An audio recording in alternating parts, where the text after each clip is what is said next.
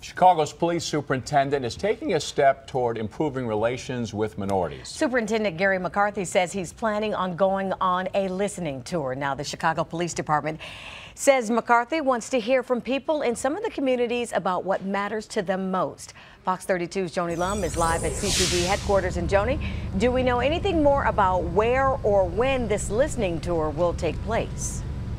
Well, there's been no schedule released at this time, but uh, the locations and uh, places should come out pretty soon. Uh, Superintendent Garry McCarthy is going to be listening to the concerns of people, trying to repair the relationships out there between police and citizens, and then he's going to submit his findings to Mayor Emanuel, and then he's going to give some recommendations. Police relationships were strained by that Dante Servin case that uh, there was a verdict last week, and um, there was outrage over that, but all all of the protests have been nonviolent, and in Chicago, they would like to keep it that way. Superintendent Garry McCarthy says that he is boosting community policing efforts in the city, and a listening tour will be a step toward building trust with citizens. Good relationships help solve crimes when there's better communication.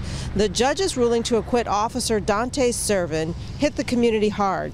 He was off duty when he fired his gun into a crowd, killing 22-year-old Rekia Boyd in 2012. The demonstrators called out what they say are flaws in the system that denied justice. Demonstrators say that that verdict gave them no other option but to be mad at the police and the police now believe that uh, some healing needs to begin. Community policing also gets people to uh, help help them solve crimes. So while there is no schedule right now, a listening tour is something that worked for Mayor Emanuel. It's what Hillary Clinton's doing right now. It's but in this case, they say it's not about politics. It's about repairing relationships. Live at the police headquarters, Joni Lum, Fox 32 News.